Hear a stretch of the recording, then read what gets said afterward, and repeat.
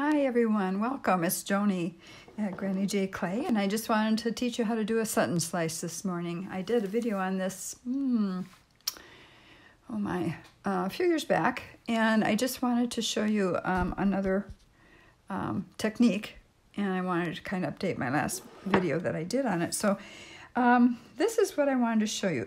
this is a Sutton slice, and I used a texture sheet to impress this, uh, well, it's a mixture of purple and pearl clay. It was pretty marbled, and so I just kept it marbled. And uh, when I did that, I pushed it into a texture mat. Not this one, but this is, I'm going to use part of this mat today uh, to show you what to do. But um, you can use any mat that has depth. Maybe you can see that there's depth in that. So you can push some clay down into it. Uh, today I'm going to push down some of our pro, my pearl clay into it. And uh, then I'm going to flip it over and I'm going to push it onto my beautiful uh, purple purple clay that I've got laying here. And this this is the souffle. Um, and I just love it. It feels like velvet. it feels just like velvet. And I haven't been using it uh, very much lately, so I thought I would use it. When I got done with this, I and uh, and this one, let me put it down here and this. Um, then I took all of the scraps from this. And I rolled out a piece of translucent clay.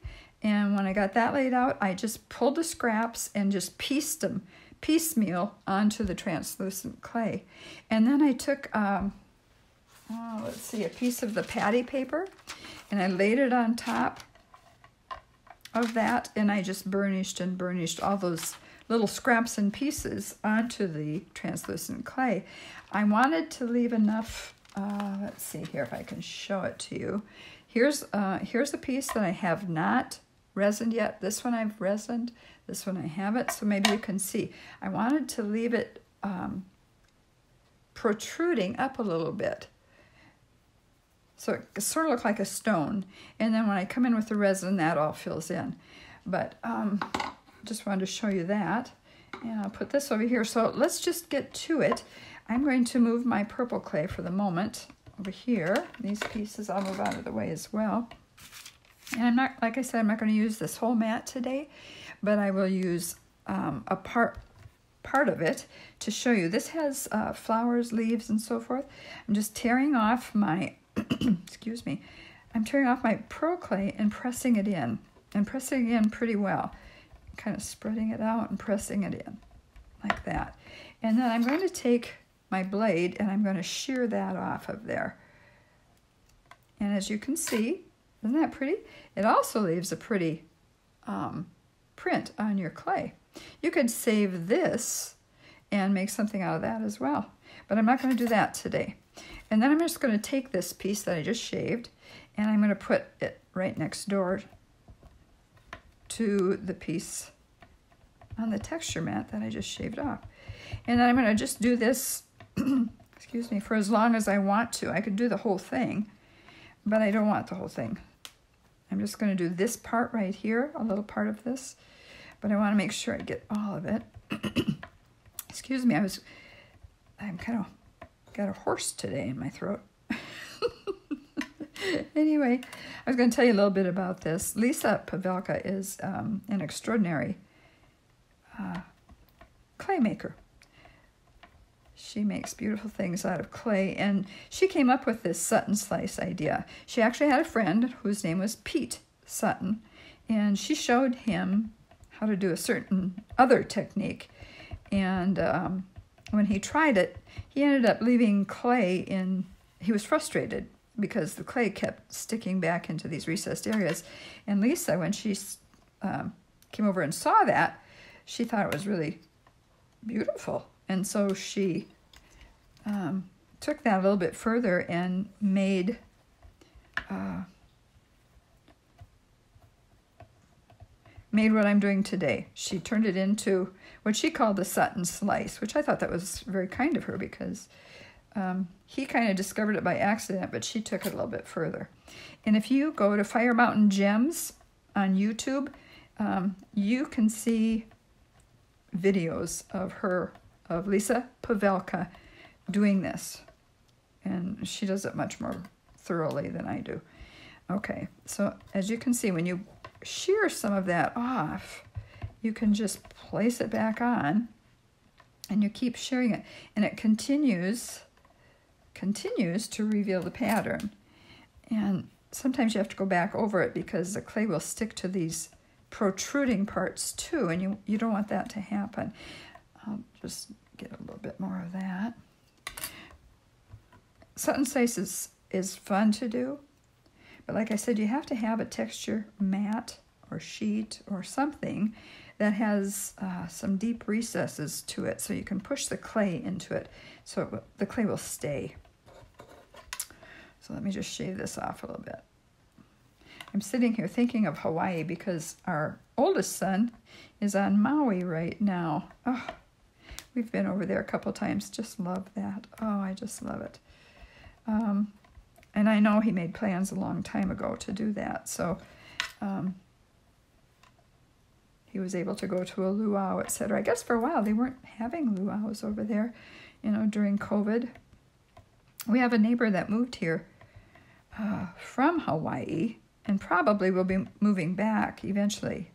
He's in the service and he's here in Kansas going to school uh, at the request of the service um, that he's in. And then he will go back, be stationed back, I think, again in Hawaii. Anyway, he said during COVID it was just really bad over there. Uh, you couldn't go out on hikes. They didn't want you to go to any of the beaches. So I that would be fun. That's kind of what you want to go to Hawaii for, right? You want to be able to for sure go to a beach. There's a beach over there called Big Beach over in Kihei, which is a beautiful area, just so pretty. We like to go to that one. Okay.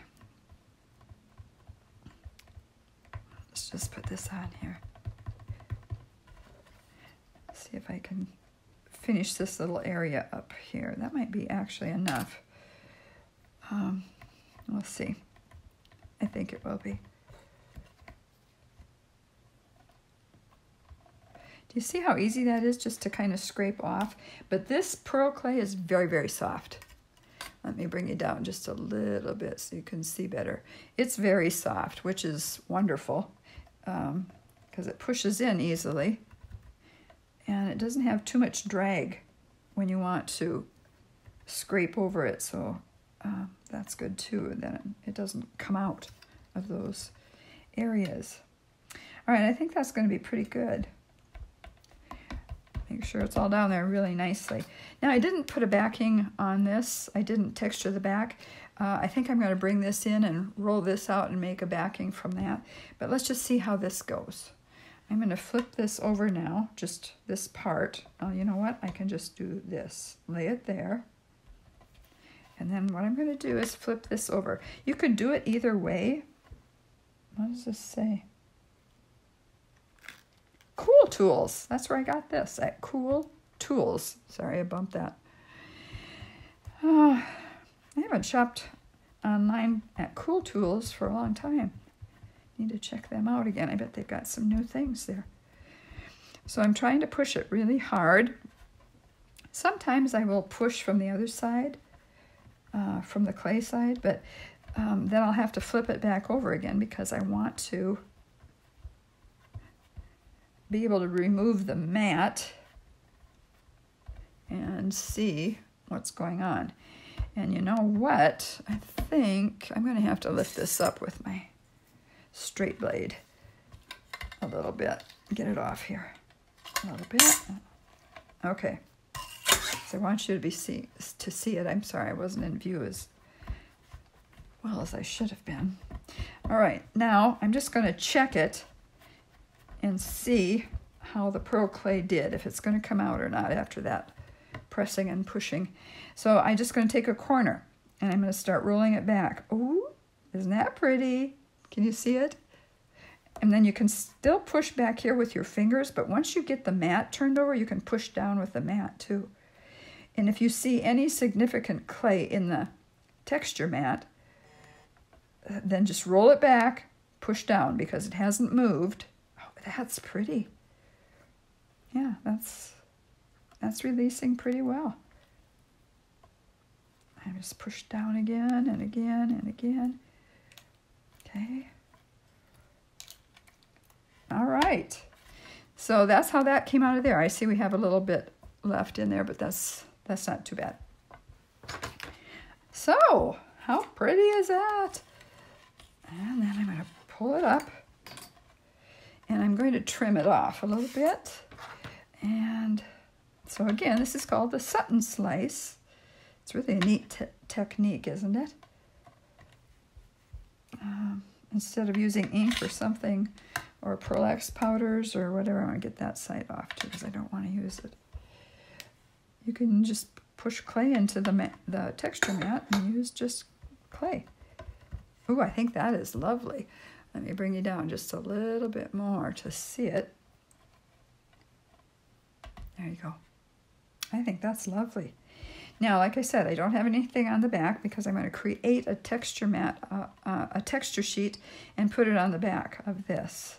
So let's just do that. I'm going to have to roll through the machine.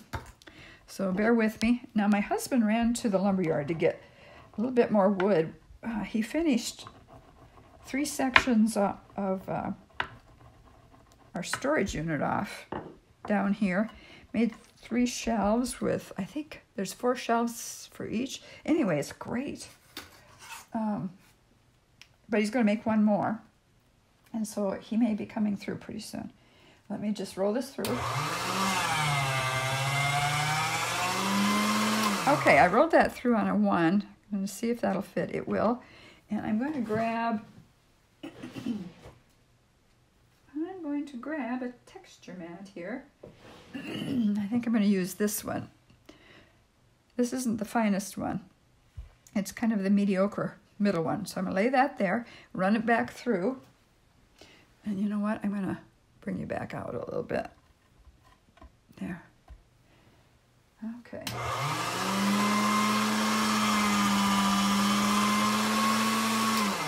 Okay, I did run it through. Now I want to flip it over because I want to put this on top of the part that is not textured because I want to make sure this whole area is textured. And then I'm just going to take off that. Excuse me. Seems like when I haven't talked for a while at length, I start talking, I get um, frog in my throat or something. Okay, there we go. now again, I'm just going to push down on that a little bit. And I'm going to move this over. Isn't that pretty? That's pretty. And then the back is like that, so it has texture on it. Now what I'm going to do is uh, I'm going to bring in a piece of my plastic wrap that I use, and the box I had it in, so it's kind of like this, and I have to find the edge uh, just kind of crumpled on me the other day. I'm not sure why, but it did. And so I have to, I have to find the edge again. So bear with me here. I think I've got it going. It takes a while. All right, I'll just use a little piece of it. Okay. I don't really need a big piece. So, now you can make what you want out of this. Uh, necklace pieces, um, you know, really, it's up to you if you're going to use a cutter. But uh, for me, I don't think I need any more decoration than what's on it because I think that pearl clay has really made it look pretty. What I'm trying to do here is straighten out this little piece that I tore off. I didn't mean to get such a little piece, but I did, so I'll use it. Okay. there we go. All right. I think what I'll do now, I may use my, uh, I just think I'm going to make a, a, a circle, round one. Let me see what I can bring in here. These are my Fat Daddio uh, plastic cutters and they don't have seams. So when you push down, it's wonderful that they don't have seams. So this is this one in particular, this would make me a cabochon that is about one and a half inches in diameter. This one would make me a two inch, a two inch cabochon. And I think I'm going to use this one. So this is what I'm going to do here. Okay, let me just think about this a minute. Yeah. And I bring it over this way just a little bit, if you can see what I'm doing. I'll move these other ones out of the way. And then I give it just a little push to keep it there. And, and then I stand up and I've got my acrylic block and I put it over that. And you can see how it flips up the, the clay. And then I give it a little turn. So let's see what we've got here. Oh, that's really pretty. Yeah, that's real pretty. All right. Take it off of there. And then I go around the edge and just make sure that we don't have anything funny going on here. Because the more you can do before you put it in the oven, the better. The back looks good. That looks good. So there we go. There is one cabochon uh, made from a texture sheet. And I made it um, with the Sutton slice. So look up Lisa Pavelka. And she's at Fire Mountain Gems. At least she used to be. And I know she sells she sells texture mats. She sells a lot of things. And so or you can go to Cool Tools and check their, their texture mats out too. But this is going to be very pretty uh, uh, for a necklace. Now what you could do if you wanted to, you could bring that paper back in again, or the plastic back in here again. And you could bring a smaller one in, and you could make a hole right there. In fact, I'm going to. I hate, honestly, I hate kind of to do it because it takes the pretty print away. Let's see, where should I do it that it's most, maybe right there. Okay. And I'm going to put this back, and then I'm going to judge how far from the top I want that to be, and push down. That one was easy. You can just do it like that. And then pull this up and again, I'm going to come back in and I'm going to release it. So that will be the necklace or the cabochon. Just rub it on the inside to make sure we don't have any funny edges. The more you can do to your piece before you put in the oven, the better. Oh, that would make a cute cabochon. And now this can be an earring. And if that can be an earring, I'll need another one. So let me pull this in. And Let's see, it'll probably go right there. And we'll make an earring out of that. That um, little piece of plastic stayed on. And that came up really easily, but if it doesn't, you can take a piece of scotch tape and pull it off. So, okay, let's see what these look like. Pretty. All right, that will be the cabochon. You can probably put a piece of leather or whatever you want on this, and then you'll have the earrings with it too. Let me put bring this down a little bit so you can see it. There we go. There we go. Now, um, if I was going to make more that were similar to this, what I would do is I would get a piece of translucent clay out, which is it's fairly clear when it bakes. Um, but because I have a backing on it, you can't see through it, but that's the translucent. It just gives a different dimension to your piece. But if I want to do that, I would get the translucent clay out, and then I begin to pull pieces off of this and place them on the translucent clay. Then, once I was done, I would take my uh, patty paper, let me move these pieces over, and now pretending that we pulled this all apart and put it on a translucent, then I would take my patty paper and lay it on top, and I would begin to very gently and softly begin to um, burnish that. And then I would get another sheet of clay that I could uh, cut from, which would bring something, you know, similar to that. So that's my lesson for today. I hope you enjoyed hearing about the Sutton slice. And like I said, I've done this before, so I know you probably, and you've probably seen other people do it too. But I wanted to show you a couple things that I, that I made. Um, I showed you that orange clay yesterday. Look what I made. I made a pumpkin. I'll move these out of the way, I guess. You see these cute little pumpkins? I made these out of uh, the other Sutton slice. On the back is just, I pushed that same texture mat on a piece of black and so, um, and didn't color it, except a little green got on the back when I put some uh, Pearl on the stems. But it made these cute little pumpkins and I thought they were so cute. So you don't have to just make jewelry, you can make other things. Uh, in fact, um, for so long I used to make uh, cabochons and earrings, cabochons and earrings, cabochons and earrings. Let me just bring that back out a little bit. And I got tired of that. I just got tired of making the same thing over and over. So, so I've been trying some new things, and I hope you have enjoyed this little lesson on the Sutton slice, and I hope you try it too. But for now, I will just uh, leave you and God bless you as you go through the rest of your day, or if you're about ready to go to bed, sleep well, and I will see you soon. Bye bye.